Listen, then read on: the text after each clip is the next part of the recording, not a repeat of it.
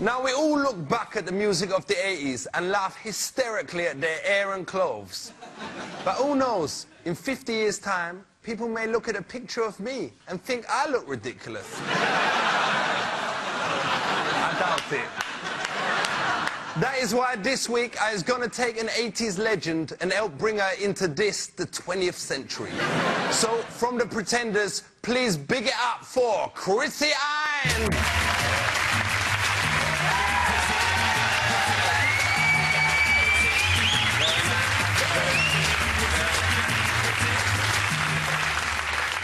I got to tell you, Chrissie, the main reason I've got you on this show is as a favour for me, Uncle Jamal.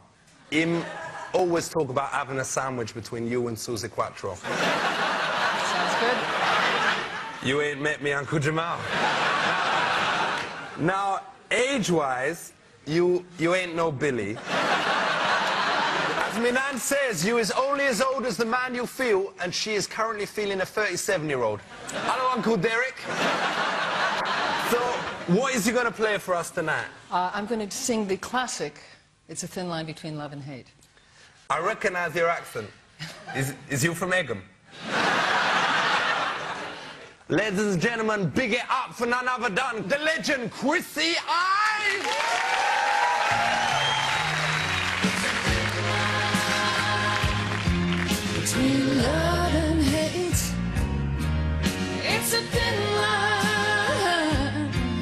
Between love and hate,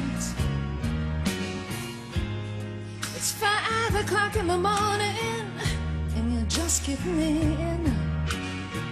You knock on the This door. is really depressing.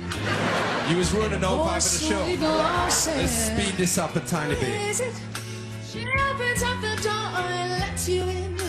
Never once Speed it up a tiny bit more. She said, Are you hungry? Did you eat yet? Up a bit more. Feeling the vibe. All the time she's smiling. Never once raises her voice.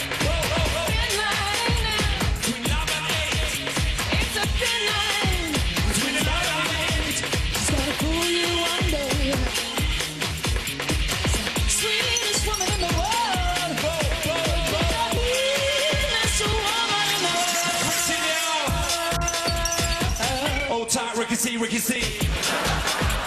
One, two, one, two, the I need crew. Shout going out to me, Julie. My mum's gonna be home at about 11.30. Can have chips instead of onion rings tonight. Fool me. Gonna fool you one day. There is a thin line between love and hate. It's a thin line. As Chrissie Hynde says there's a thin line between Between many things in and life, and especially between Punani and. Bati. So KK